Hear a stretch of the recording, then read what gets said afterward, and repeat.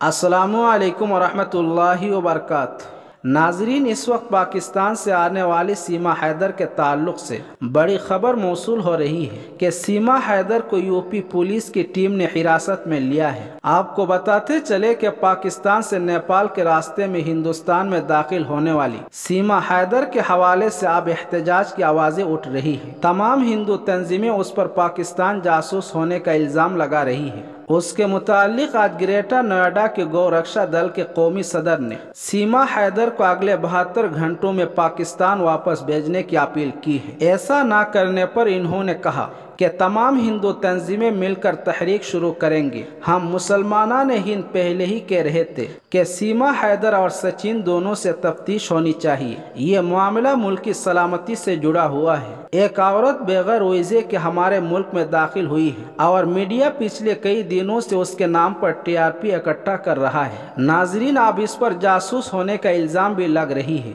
काबिल ज़िक्र है कि सीमा हैदर को यूपी पुलिस की टीम ने हिरासत में ले लिया है। उस मामले में सिक्योरिटी एजेंसियों की हरकत में आने के बाद, अब यूपी पुलिस की टीम ने सीमा हैदर को नोएडा से हिरासत में लिया है। मालूम के मुताबिक पीर को सादा वर्दी में आई यूपी पुलिस की टीम सीमा हैदर को घर से लेकर गई है। पुलिस एहलकारों ने पहले दोनों अतराफ से सड़क को ब्लॉक कर दिया और पहर सीमा हैदर को बाहर लेकर गए। पुलिस सीमा हैदर को कहाँ लेकर गई है, उसकी जानकारी नहीं है। लेकिन पूछताछ के लिए ले जाया गया है। घर के लोग दरवाज़ा बंद कर चुके हैं। उस वक्त कोई कुछ कहने को तैयार नहीं है। दूसरी तरफ़ बताया जा रहा है कि यूपी की एटीएस टीम मरकजी इंटेलिजेंस एजेंसियों के साथ तालमेल कर रही है। उसके अलावा सीमा के पाकिस्तान से यूपी आने और उसके रबते के बारे में भी तफ्तीश की जा रही है। उस मामले की जाँच कर रहे नोएडा और गाजियाबाद पुलिस ने कई अहम तफसीत जानने के लिए यूपी एटीएस से तकनीकी मदद तलब की थी। बता दें कि यूपी एटीएस की टीम ने सिर्फ़ सीमा को ही हिरासत में लिया है। सचिन के बारे में कुछ मालूम नहीं है।